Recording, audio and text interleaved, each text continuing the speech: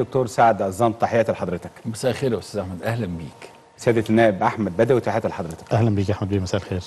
قبل ما أبدأ مع الضيفين الكريمين في معانا المهندس محمد السباعي متحدث باسم وزارة الري. كنت اتكلمت أولا مساء الخير محمد بيه. تحدثت في بداية الحلقة عن أهلنا في الصعيد وإن أنتوا في قرار طالع من معالي الوزير بمنافع المتر 120 جنيه. الناس هتدفع اللي وراها واللي قدامها والناس من الآخر يعني زي ما أنا قلت كده مش فاهمين القرار. سببه إيه؟ ناس ما عندهمش حاجة أخرى غير هذا البيت اللي هو موجود موجود على ترعة موجود على مصرف موجود آه، على آه، نهر النيل. قول لي يا فندم الحقيقة إيه؟ تحياتي لحضرتك يا فندم والضيوف الكرام وطبعا تحياتي للسادة المشاهدين. اتفضل. آه، في البداية بس اسمح لي أستاذ أحمد حضرتك قريت القرار ده؟ قريت القرار ده؟ قريت القرار ده يا فندم. طيب. بس أنا بحاول دلوقتي حد يبعته لي أنا أنا قريته كنت من من شهرين ثلاثة مثلا. طيب، بس قول لي الحكاية اللي عندكم إيه؟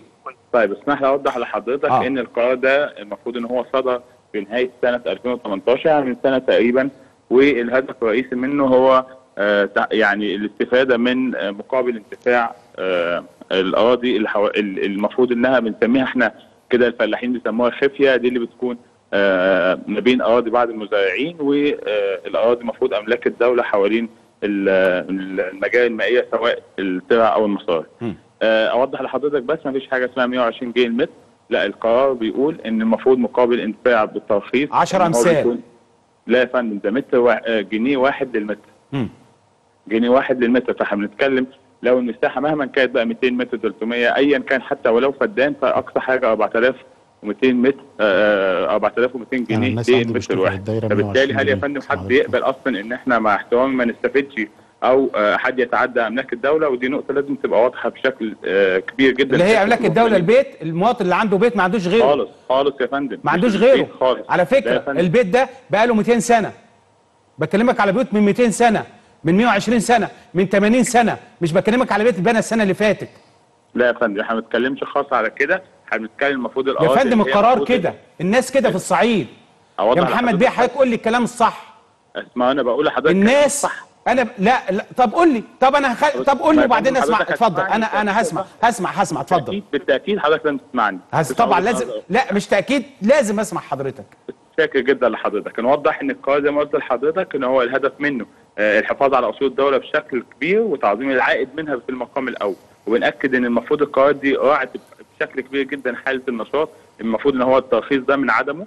إحنا بنساعد كل من له رغبة في الترخيص. مفيش حاجة اسمها 120 جنيه المتر. نقول على حسب نوع الاستخدام الاراضي الموجودة دي إن كانت في الزراعة أو المفروض إنها المشروعات أو غيره. في كل الأحوال في كل الأحوال بنأكد إن القيم اللي, اللي حددت في القرارات دي المفروض إنها أقل بكتير جدا من القيمة السوقية للاراضي اللي موجودة بنسب كبيرة جدا. بنحاول إن إحنا بنحافظ على المال العام وحق الدولة بان ان إحنا بنسهل جدا التراخيص الموجوده. المفروض إن إحنا بنتكلم كمان على الجزئية الخاصة بالاراضي اللي المفروض ال- ال- أهالينا زارعينها بنقول إنهم في حالة ال لا لا ما بتكلمش على الزراعة.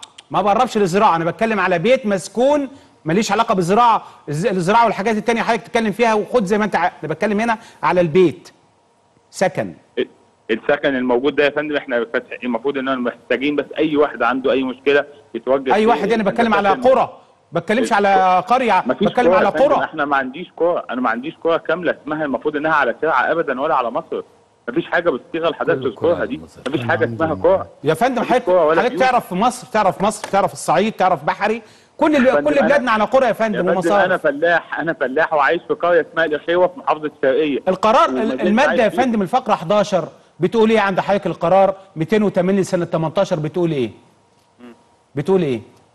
اتفضل حضرتك اهو لشغل المنافع آه، يكون مقابل الانتفاع عشرة أمثال الفئات المنصوص عليها بهذا القرار للمباني التي تقام بالمخالفة بعد صدور هذا القرار لحين الإزالة وذلك لحين الإزالة على حساب المخالف. انتهى القرار. في في حالة إيه يا فندم؟ في حالة إيه بس حضرتك ذكرتها دي؟ في حالة المخالفة. أنا أنا مش عايز م- مش عايز بيت يا فندم مبني بقاله 80 سنة يا فندم ي- وي- هو إحنا كنا فين من وضعه 80 معايا. سنة؟ هو إيه؟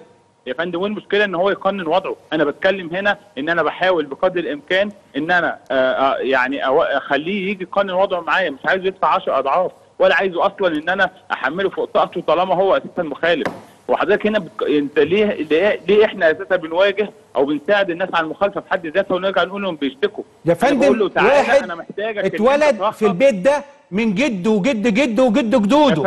في ناس بقى. بقالها 120 سنة ساكنة في البيت. ده وحد جاي النهارده تقول له ادفع لي 20000 و30000 جنيه كل يا فندم سنه انت بتتكلم حاجة بقى لها 120 سنة على اساسها المفروض ال- انت بتتكلم الأراضي اللي هم موجودين عليها في الأساس مصممة أو أو ال- المساحات دي في الأساس الأول ما هي إلا لصيانة السلع والمجال المائية. طيب تمام. ثانية واحدة. ثانية واحدة ثانية واحدة. البيت ده يا فندم هو جه النهارده قال لك أنا البيت ده هشيله. هتجيب له بيت؟ هتسكنه؟ أنا بقنن له لا لا معلش ثانية. ثانية. معهوش فلوس. هتسكنه؟ أنت كحكومة يعني- هتسكنه؟ يعني حضرتك لما خدت القرار ده درست يا فندم كام مليون واحد في مصر؟ كلام حضرتك اللي أنت بتقوله ده معنى كده المخالف اللي هو أجرم. يا فندم أجرم. لا ما. أجرمش. لا لا اوعى تقول لي أجرم دي لو سمحت. أرجوك اسحبها. لا لا تسحبها. ما فيش. مواطن أ- لا ما, ما أجرمش. لا أستاذ أحمد طالما أنت يا محمد بيه أنا- أنا- المواطن ما أجرمش. هو لقى جده ساكن في البيت ده اتولد في البيت ده وجده مات من الوضع غير 80 قانوني. سنة. أنا بقول لحضرتك الوضع غير قانوني. عايز تهد وأنا بالكامل؟ محتاج أقننه.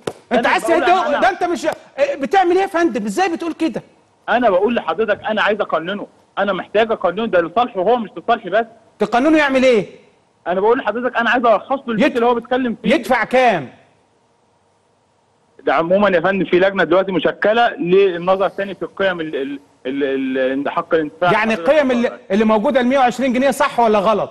لا مش صح. لا صحيحة.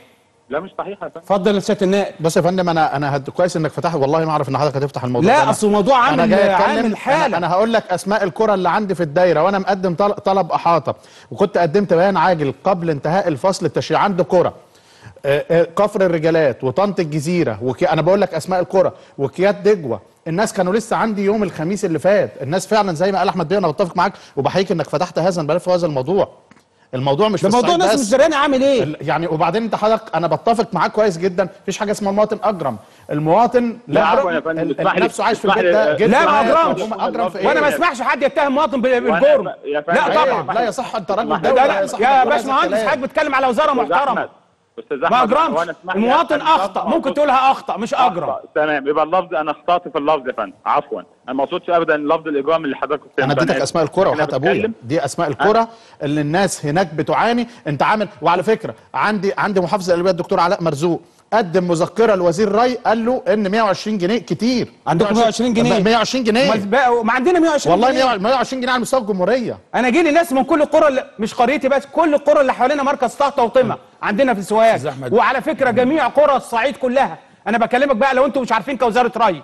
انت بتضيع وقت. وهذا الأمر وأنا بقول أرجوكم لو سمحتوا أصل مش عيب لما نعمل قرار قرار غلط ما تقوليش الناس اللي درسوا عن جد وجدوده وجدوده وجدوده وما عندوش حاجة تانية غيرها هو أنت النهارده مش جاي غير على الراجل ده طب بص يا أحمد بيه كويس كم بي- دكتور. كم بيان عاجل ثمان. بيانات اتفضل عاجلة يا دكتور. طب. الدكتور عنده رأي بس كمان. عاوز أقول حاجة ال- هو الرئيس الحقيقة قال جملة كويسة جدا أي فندم. قال لك إن إحنا بنطالب بحق الدولة آه. مش هنسيب حق الدولة نعم كويس للأسف خط النص تعبان في في الدولة.